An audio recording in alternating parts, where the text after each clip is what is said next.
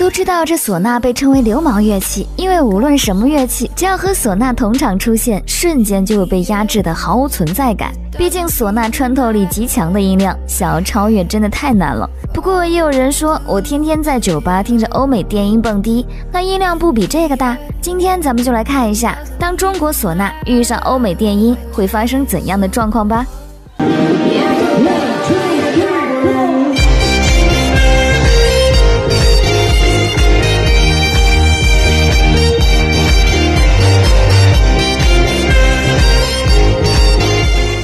中酒吧一般是以欧美电音为主，但是当中国小伙拿着唢呐登台后，瞬间就变得不同了。不仅没有破坏原来的气氛，反而让现场更加的嗨，真是没有唢呐赢不了的亲，同样也没有唢呐带不起来的气氛呀。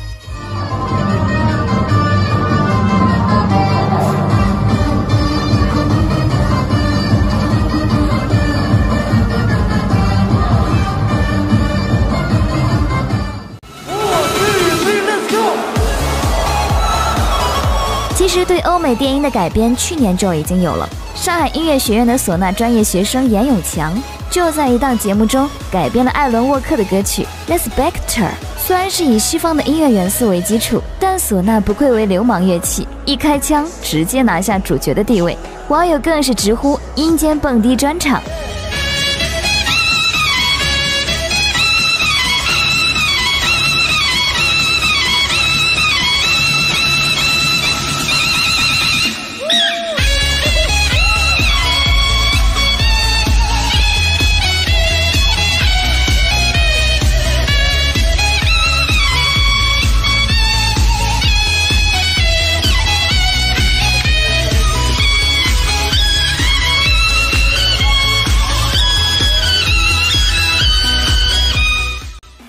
国内电子音乐制作人葛东奇创作的一首《喜》火遍网络，在短视频创造了二十九亿的话题播放热度。而在一场活动中，葛东奇现场演唱了这首歌，其中的灵魂乐器唢呐，则是由严永强来演奏。两位的强强联合，简直就是神仙现场。节目最后就来一起听一下吧。